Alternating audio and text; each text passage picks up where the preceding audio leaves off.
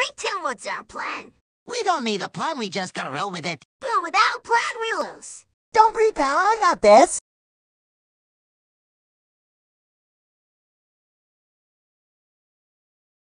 I Daffy, it's not a regular challenge.